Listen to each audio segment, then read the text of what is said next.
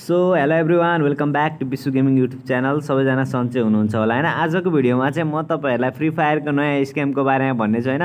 Free फायरको यो नयाँ MP फोर्टीको इन्क्युबेटरमा चाहिँ यो स्क्याम भएको थियो होइन। एमपी फोर्टीको रोयल फ्लस भन्ने स्किन चाहिँ तपाईँहरूले टपमा देख्न सक्नुहुन्थ्यो भने तपाईँहरूले फ्री फायरको मोस्ट डिमान्डेड एमपी फोर्टीको स्किन पोकर एमपी फोर्टीलाई चाहिँ फोर्थ नम्बरमा देख्न सक्नुहुन्थ्यो। र अभियसली लास्टमा भइसकेपछि रेट त कम भइहाल्छ। तपाईँहरूले यो एलो खालको स्किन निकाल्नको लागि तपाईँहरूलाई जम्मा तिनवटा इभोल्युसन स्टोन र एउटा ब्लु प्रिन्ट मात्र चाहिन्थ्यो होइन। अनि पोकर एमपी फोर्टी होइन पहिलाको इन्क्युबेटरको टपमा भएको गन स्किन यति सस्तोमा पाएपछि त सबैजनाले धमाधम निकाल्न थालिहाल्यो। जम्मा तिनवटा उयो चाहिएको थियो इभोल्युसन स्टोन र एउटा ब्लु प्रिन्ट मात्र चाहिएको थियो होइन। अनि सबैजनाले निकाल्न थाले। लगभग धेरैजनाको चाहिँ तिन चार सय डायमन्ड नै परेको थियो न किनभने पहिलादेखि इभोल्युसन स्टोन धेरैजनासँग भइहाल्छ र एउटा ब्लु प्रिन्ट चाहिँ तपाईँको तिन चार सय डायमन्डमा लगभग परिहाल्छ। सुरु सुरुमा त ठिकै थियो होइन अब पहिला पहिला निकाल्नेलाई घाटा लाग्यो। गैरनाले चाहिँ पहिला पहिला निकाल्नेवालाहरूसँग स्क्याम गर्यो जस्तो लागेको थियो। तर पछि चाहिँ के हुन्छ भने कहानीमा ट्विस्ट आउँछ होइन। गैरनाको यो चाहिँ ग्लिच रहेछ होइन। यो चाहिँ अब फिक्स भइसक्यो। अहिले दुई तिन घन्टा अगाडि यो चाहिँ फिक्स भएको। र अब चाहिँ तपाईँहरूले पोकर एमपी फोर्टिन निकाल्नको लागि पनि तपाईँहरूलाई चाहिँ सातवटा इभोल्युसन स्टोन र तिनवटा ब्लु प्रिन्ट चाहिन्छ। पहिला पनि यति नै चाहिएको थियो। होइन अहिले पनि अब तपाईँको यति नै चाहिने भइसकेको छ। सो अब चाहिँ तपाईँहरूको मेन क्वेसनको कुरा गरौँ होइन यदि तपाईँहरूले चाहिँ एमपी फोर्टीको स्किन बिहानै निकाल्नु भएको थियो जब यसको रेट कम थियो भने अब चाहिँ के हुन्छ त त्यो वालाहरूको भनेर तपाईँहरूको मेन क्वेसन छ होइन। यो क्वेसनको एन्सर पनि म तपाईँहरूलाई दिनेछु।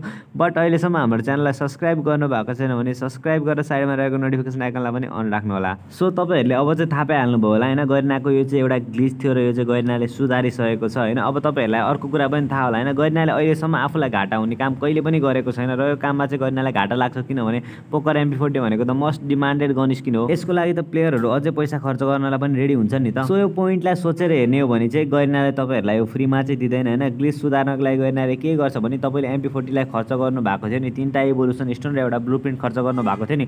अब त्यो तिनवटा इभोल्युसन स्टोन र एउटा ब्लु प्रिन्टमा चाहिँ तपाईँको जुन गन स्किन आउँछ तपाईँलाई चाहिँ त्यही गन स्किन भिडाइदिन्छ होला होइन?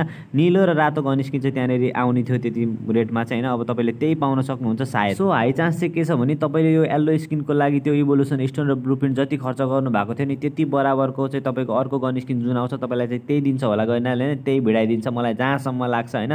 तर अब गरिनालाई दानी मानेर सोच्ने हो भने चाहिँ गरिनाले अब एनिभर्सरीको रिवार्ड भन्दा पनि हुन्छ। नभए फ्रीमा अब लगाओ खाओ जियो आफ्नो जिन्दगी भनेर छोडिदिन पनि सक्छ तपाईँहरूलाई होइन? बट यहाँनिर हुनुपर्ने चाहिँ कस्तो हो भने गरिनाबाट नि मिस्टेक भएको हो। यो गेमको ग्लिच होइन। गेमको ग्लिच भएको कारणले गर्दा तपाईँले त्यो जुन पोकर एमपी फोर्टी बाई गर्नुभयो भने तपाईँको त्यो सबै चिज रिफन्ड गरिदिनु पऱ्यो क्या। जस्तै तपाईँको तिनवटा इभोल्युसन स्टोन र एउटा ब्लु प्रिन्ट चाहिँ रिफन्ड गरिदियो भने अब मान्छेले आफूले छानेर किन्न पनि सक्छन् र त्यहाँनिर अब इच्छा लाग्यो भने अरू डायमन्ड खर्च गरेर फेरि पोकर एमपी फोर्टी नै लिन सक्छन्।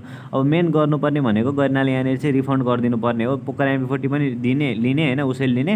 अनि तपाईँको इभोल्युसन स्टोन र ब्लु प्रिन्ट पनि तपाईँलाई फिर्ता गरिदिने। अब तपाईँले आफ्नो इच्छाले चुज गरेर जुन पनि लिन सक्नुहुन्छ यसो चाहिँ गर्नुपर्ने हो होइन? अब यो चाहिँ गरिनाको हातमा हुन्छ। यसपालि चाहिँ अरू कसैले भनेर हुँदैन। अब म्यानेजमेन्टले जे सोध्छ होइन? गरिनाको म्यानेजमेन्टले त्यो म्यानेजमेन्टले त्यही एक्जिक्युट गर्ने हो। सो यसमा चाहिँ जे पनि हुनसक्छ होइन? मैले चाहिँ आफ्नो ओपिनियन दिएको। अब गरिनाको केही नोटिस आयो भने म तपाईँहरूलाई कम्युनिटी पोस्टमा हालिदिन्छु। च्यानललाई सब्सक्राइब गर्नु भएको छैन भने सब्सक्राइब चाहिँ गर्नु होला अनि तपाईँले निकाल्नु भयो कि भएन तल कमेन्ट सेक्सनमा भन्नु होला होइन। अनि फ्री फायरमा डायमन्ड टपअप गर्न छ भने तपाईँ हाम्रो पेजबाट गर्न सक्नुहुन्छ। फेसबुकमा गएर होइन विश्व डायमन्ड सेन्टर भनेर सर्च गर्नु र त्यो पेजमा मेसेज गर्नु अनि त्यहाँबाट तपाईँले टपअप गर्न सक्नुहुन्छ। एकदमै ट्रस्टेड पेज हो। एन्ड आजको लागि चाहिँ भिडियो यति नै। फेरि पनि अर्को अपडेट लिएर आउने नै छु। So till then take care bye bye